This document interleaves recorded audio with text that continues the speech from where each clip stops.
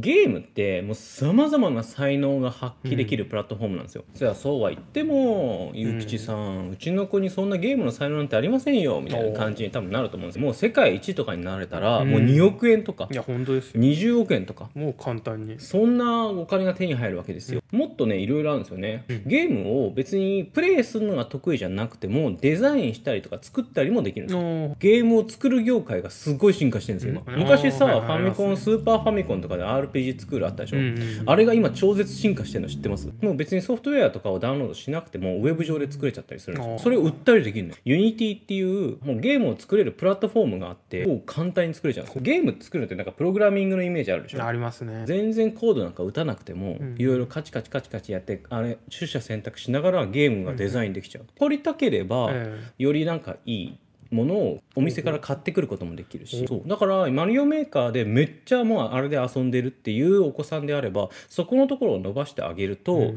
ユニティでそのお子さんが作ったゲームが100万回ダウンロードしてされてすげえ儲かるみたいなことが起こってくるわけなんですよ。うん要は日本って今下火なんですよ。今のいろんな才能がゲームにやっぱりこうより向く必要があってゲームでね何かを作るのが好きな人はねすごい保存した方がいい、うん。もうすぐ売れるんです。お城とかあるじゃない、はいあれは建築士とかが関わって作ってるわけよ。衣装とかはファッションデザイナーとかが作ってるわけじゃん、うん総合芸術なんですよね。ありとあらゆる業界っていうのはこれからデジタル化してくるわけじゃないですか。今の自分たちがやっている仕事がデジタル化されるんだよね、うん。今は例えばパターンナーとかで服をつか作ってる人とかもそれをデジタル化して売るみたいな方向になってくるから今のゲーム業界がすごく効いてくるんですよ。センスがいいものが作れれば売れるっていう。ゲームって侮れないですよ。ありとあらゆるもののプラットフォームがデジタルになってるからうん逆を言えばデジタルのプラットフォームでデータをやり取りするってなってくるとゲームの要素が出てくるんですね。ゲーム実況ってあるじゃん。ゲームをプレイした時にこう家族を楽しませるようになんかこうオーバーリアクションで楽しむとかうんうんうん。そういったことを子供がやり始めたら何？YouTuber の真似してるのみたいな感じでこう不安になるお母さんとかって多いと思うんですすごくね才能だと思うんで、うんうんそこも見てあげると多分全然違うと思うんですよね。いろんなワークショップ作ったりするんだけど、うんあの新人社員研修とかマイクラをねやらせるっていうのはすごく僕はいいと思うんですよ。なんだけど彼らのモチベーションが高くなくてうんうんうん。やらせられないんですね。学校でマイクラをやろうっていうのは絶対できないねうんなんでかっていうと嫌な子は本当に嫌だから。自分の中での想像力がない。何を作ったらいいかわからない。だからゲームっていうのはものすごく教育的にいいプラットフォームなんです。うまく使えば。ゲームを子供がプレイする時間っていうのはものすごく重要なことだしそこで養われる能力っていうのはすごいものがある、うん。5G のインフラの話そうしようと思ってたんですよね、はいはいはい。ゲームが 5G によって進化するというよりかは現実世界の方がゲームに近づいていくっていう視点なんですよ。Google のスタディアってありますね。5G でつながってしまえばパソコン演算をパソコンがする必要ないって Google が言っててこれはゲーム機として新しいんじゃなくて他のパソコンでやる他のこと全部できますっていうことなんですよね、世の中のパソコンとかスマホとか全部ん。Google の演算になるってことですよ。怖い。ドローンとか聞いたことあるでしょ？あれはある種反デジタルみたいなものなんですよ。あーはいなんでかっていうとドローンがこういうふうにこう制御されるっていうのはデジタルデータで制御されてるんですね、うん。ゲームのコントロールと全く同じような感じなんですよ。自動運転とかも遠隔運転が中心になってくるんですよ。で人間の認知能力は絶対必要なんで、うん車のゲームをやるような感覚で、うんうん。全部交通整理とかもできるようになるとか。リアルのものとかサービスとかを全部動かすだシステムっていうものが今のゲームを操るうまく操る能力と同じになってくるっていうこれがすごい怖くない？逆に今の世の中でゲームにあんまり興味がなくて操作してないよっていう人はあの物事を動かす力がない子に育ちやすい。医者って、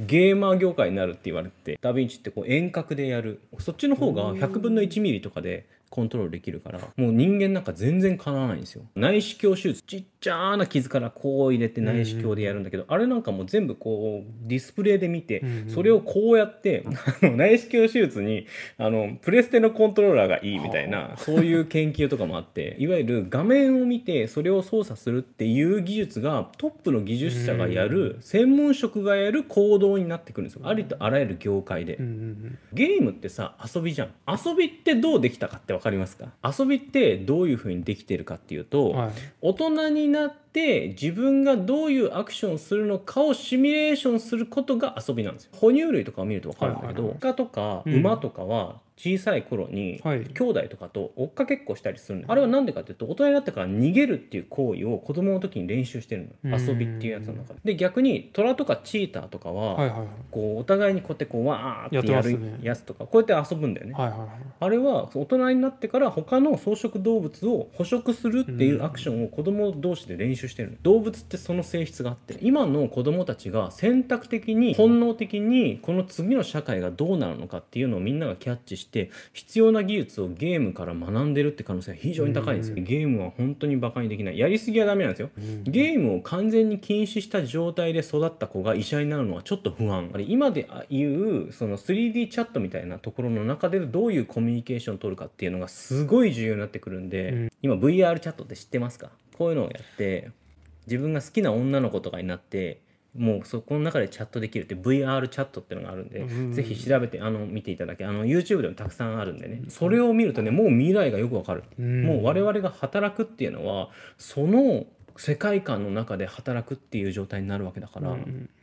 怖いですよ。そこを全く体験してない子供が、うんだからもうそれこそスタディアとかで、うん。もうあのプラットフォーム争いをしてるんですよ。でそのプラットフォーム争いの一番先端にいるのが e スポーツってやつなんですね、なのでこれから1週間出していく動画ぜひ皆さん見ていただくとすごくいいと思うんですけどなぜかっていうとプラットフォーム争いで日本が負けちゃうと大変なことになるんですよ、そう。でも今日本は任天堂とはいはいプレステとかうんやっぱり日本のプラットフォームっていうのはまだまだ頑張れてる状態なのでまだ全然間に合うんですよ、うんプラットフォームを握られるということは 3D 空間これからに現実が拡張していく拡張空間全体が握られるってことなので、うんこれは軍事的な争いでもあるんですよ、いわゆるインターネットの中でみんなが使うプラットフォームの争いっていうのがあって、その争いを我々が勝つわけでもなくちゃんとこう渡り歩いていくためにはそこを使える人たちの人口の数が必要で、うん。日本はねもう統計に入らないぐらい小さいんですよね。ゲームの発祥の地としてはうん。本当にこう由々しき事態なんですよ今。5G 時代のもう拡張していく VR 空間においていろんな人の仕事があるっていうプラットフォーム争いをしていてそれのシェアに圧倒的に負けてるんですよ日本って。これはね国際問題よりも重要と結構考えてるわけですね。一回プラットフォームは取られてしまえばもうそれは覆すのは難しいですからね、ゲームっていうのはさっき言ったように拡張現実っていうものをもう明確に表してる。そこのコマンドの集合体なわけですよ、うん。命令の指示系統の集合体であってそれのシェアが日本は全然取れてない、うんね、こんだけでかいプラットフォームが存在してるにもかかわらず、一般の人たちの理解が全然足りないせいでそこに対してお金が回っていかないんですね、うん。だからそれこそプレステ4なんかをうまく買ってやってくれてるのは海外勢の方が多いんですよ。うん。これは本当にもったいない。そうっすみんなもっとやってほしい。そこのところで日本がちゃんと勝っていく国にするためには一人一人がよりゲームとか、ゲームなんて本当に子供の遊びでしょうっていう考え方じゃなくて、その次の段階、うん。今この社会を制御する、ん。ありとあらゆるものを制御する技術の集合体だっていうふうに考えを変えてもらうってことがものすごく重要なんですよ。うん。この1週間それに対する動画たくさん出しますので、期待しててくださはい。あとね RPG もね言及したいんだよね。ゲームの中にキャラクター性を生じてでそのキャラクターが愛されるように動くすごい難しい技術で日本はそこに先んじてんだよね。これはね日本がものすごく持ってる明確な技術なんですよ。うん。それが 3D チャットとかになってくると一人一人がそこがどういうふうにあの自分の中で相手から好かれるかっていう技術がものすごい感情描写としてねまさに。これがね日本独自の技術なんですよ。うん。他の国が全く追従できてないロボットってあるじゃん。ボストンダイナミクスとか見ていただくと分かるようにロボットってなんかね怖いし気持ち悪いものなんですよ。うんうんでもロボットって日本って世界で唯一日本人はロボットって友達だと思ってんだよね。それなんでかっていうとアトムっていう表現があって鉄腕アトムっていう表現があってドラえもんっていう表現があって、うん。我々はロボットってあの辺を思い出すんだよね、うん。我々の人類の友人でありパートナーであり家族であるっていうことをあんだけ描いてんのって日本ぐらいなんですよ。だから日本のロボ開発って他のボストンダイナミクスとかああいう海外のロボ開発とは全然違って、うんいかに人間のパートナーになるか感情表現をそこに表示させるかっていうところにものすごくお金と投資が集まるプラットフォームになってるんですね。うんこれはねすごく稀有なところで、うん。本当戦わなければいけないここのところでもう中国とかが日本人を集めてそういう技術を作らせてそれをもう世界に売っていくっていうもう形を取ろうとしているので、うん。これをまずは日本人は理解して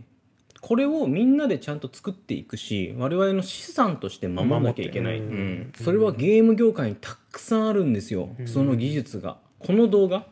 がそれこそ100万再生200万再生仮にされたとしたら、はい。日本人は確実に1段階上がる。うん。と思いますよこれは本当に、総合芸術として定義できるもので、うん。かつ次の時代のコマンドの集合体なんですよ、でにしかもその中でのコミュニケーションがね、うん。VR 上でのコミュニケーションが主体になるわけだからそこのところで日本は世界随一の唯一の技術を持ってるわけですよ。うん利用しない手はないくないですか？日本人がやっぱりねその作った創作物に愛されるっていうなんか独特のものを吹き込むことができるんだよね。これはね 5G 時代のいわゆるインターネットで顔が見えないっていうところでコミュニケーションを取るって時代になった時にもう爆発的な武器になるでしかもそれを提供するプラットフォームも今の段階だったら日本は自分の会社の中で握ってるわけですよまだまだ全然戦えるのでそこをねまずは理解していただきたい。うん。で本当にゲーム業界を盛り上げるようなクリエイター、はい。プレイヤーねうん。アーティストいろんな人がそこのところに関わってくることで日本の未来が全然変わってくるので、うん。ねお子さんがねずっとマインクラフトやってる。ちょっと許せませんか？うん。許してあげましょう。許してあげましょう、うん。やりすぎはダメよこれ本当にぜひ皆さんシェアしていただけるとすごく嬉しいです、お父さんお母さん、うん。友達。ゲーム業界が凄まじい貢献をしてきたのに対して日本人はねなんかあのリスペクトがなさすぎると僕は結構個人的には思ってます、特にやっぱり学校関係とか、うん。塾関係とかそう教育関係お母さんも含めての人のリスペクトのなさは半端ない。今ゲームをねやってくれる子供ってとっても貴重なんで。うんその才能をね伸ばしてほしい。日常的にゲームをたくさんプレイするっていうこと自体すごい才能なんで。今の人たちはそれできない人が多いんでね。ってことはどういうことかっていうと20年経った時にそのいわゆる医者とかそういう専門職のなり手がいないってことですよ。これがね本当に考えると全然今の時代が違って見えてくると思うんですよね。次の時代に向けて準備をしてる人たち。うん